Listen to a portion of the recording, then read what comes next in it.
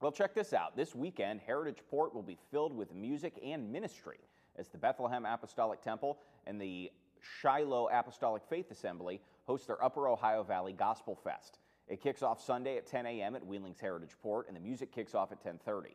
There will be 12 to 13 groups from across the region performing. That includes choirs, soloists, and even guitarists. Reverend Darrell Cummings says that he's very excited that he can bring gospel to the many celebrations the Friendly City has to offer.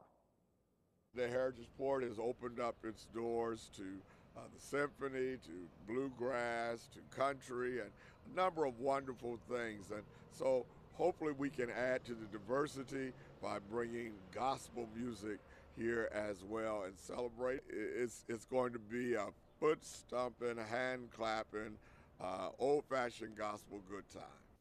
If you can't attend, don't worry. You can watch the festival on the Bethlehem Apostolic Temple or Shiloh Apostolic Faith Assembly's Facebook pages.